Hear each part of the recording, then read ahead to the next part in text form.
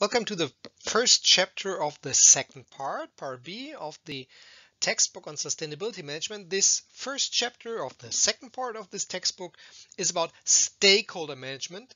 And with that, we're going to kick off an entire part here of the book where we talk about different stakeholders and how they relate to sustainability management, how sustainability management relates to and influence these different stakeholders.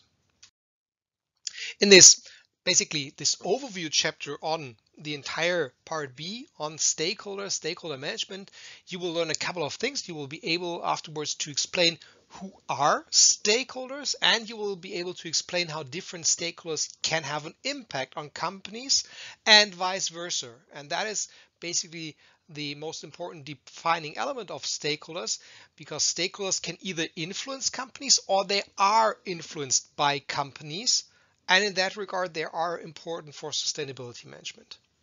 You will then be able to distinguish different types of stakeholders. Basically, we will have a look at internal and external stakeholders and at primary and secondary stakeholders. Through that differentiation, you will learn that stakeholders and their interests can be very heterogeneous. They're not always in line, and that makes stakeholder management a rather complex task for many companies. You will then be able to differentiate different yeah, theories, different approaches to stakeholder theory, descriptive, instrumental, normative, and integrative stakeholder theory. And these are all are these theories dif provide different reasons why companies should engage in stakeholder management. Furthermore, you will be able to discuss why legitimacy is important for companies and how stakeholders might influence companies' legitimacy. Basically, legitimacy and social acceptance are resources, scarce resources that need to be managed by companies and sustainability management can be an element of managing these resources. They can help to secure legitimacy in the long run. You will then be able to apply a three-step approach of practical stakeholder management. And you will learn that stakeholder management is an ongoing task that might follow these three ideal steps of stakeholder identification first, so get to know who are your stakeholders as a company. Then stakeholder prioritization, so who are the most important ones and who are maybe less important. And strategy development, how to deal with these different types of stakeholders.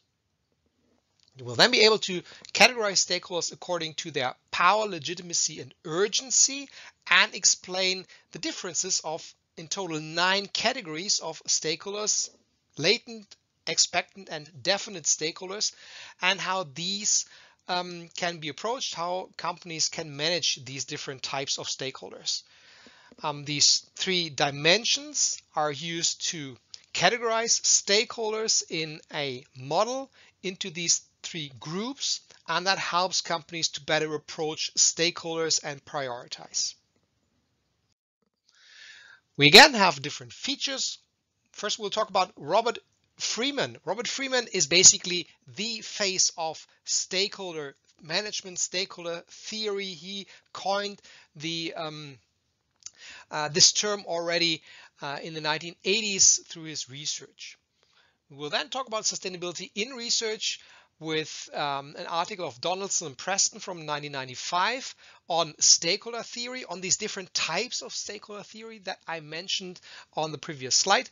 We will talk about sustainability in business, Volkswagen's diesel emissions scandal, how that relates to stakeholders, and also about ExxonMobil's stakeholder mismanagement in this case through misleading climate change communication.